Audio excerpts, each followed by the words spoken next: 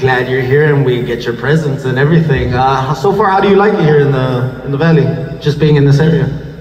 I love it. It's a great place. Everyone's been so friendly and so accommodating, so kind and generous with their time, with their compliments, with their kindness.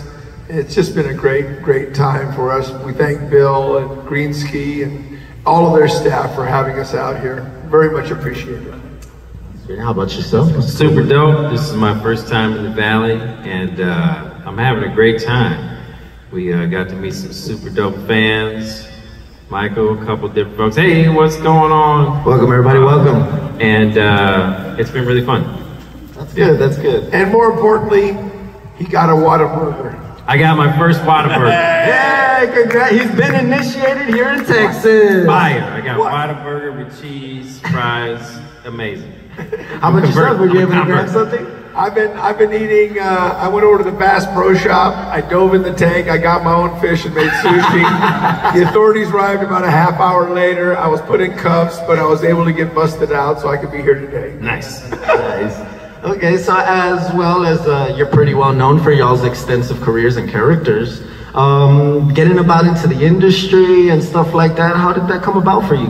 For both Say that again. Getting into the industry and stuff like that, uh, getting I'll your start. parts. I started as a kid. I've been working since I was like seven years old. I got my SAG card in like 1989. Uh, my mother was an actress. My father was a musician. He was in a band called The American Breed. They had a song, Bend Me, Shape Me Any Way You Want Me. And uh, my mom was an actress. And I was just like a crazy kid. And they were like, we need to get this dude doing something before he gets in trouble. And so I started doing commercials and uh, you know voiceovers as a, as very young, like you know McDonald's and KFC commercials.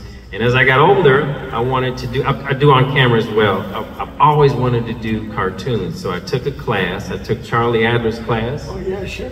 and uh, I took uh, Bob Bergen's class. Bob Bergen is that's all, folks. He's Porky Pig right now, and uh, I started auditioning. And as you know, you get one part, then you get another part, and you get an okay part, and that part leads to another part. So that's basically my uh, voiceover journey. And then I get to work with Michael. We work together. Yes, we have. We're very lucky. Yeah. He did a great series in which he played uh, a private eye in in Rome who had a partner. It, something of Malik. What was it? Carlo and Malik. Carlo and Malik. and by the probably one of the best. Don't tell anybody. Cameras off. One of the best directors that I've uh, worked with in voiceover. He was like really, you know, hands on, and he's a voice actor, and he knew what he was doing, and he guided me through that. You know, some of those scenes were tough, but uh, I really appreciate you. I don't know if I said it then because. I wanted to go home after the. Yeah, you want to go home. Yeah, You want to get an In-N-Out burger. That's right. Full disclosure. that's right. yeah, amazing director. Now, now while we're on the subject of In-N-Out, so how do you have, what is your In-N-Out call burger? How do you do it, sir? double double with cheese. With cheese? Yeah. Extra spread? Uh, no, I, I do No just onion? regular. Yeah, I do grilled onions. Grilled what do you onions. Okay, well, I found out the new way to do it, which is they do the grilled onions, they chop them up, and it gets a little too greasy. So I, now I do something called a grilled slice. Take the whole slice of the onion, they just put it on the grill, they flip it once, it's good.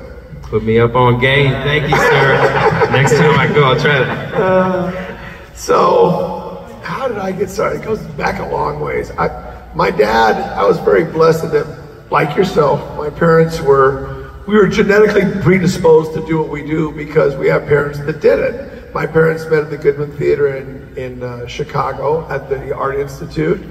And my dad was in, he was in vaudeville. This is 10,000 years ago. We're talking like 1938.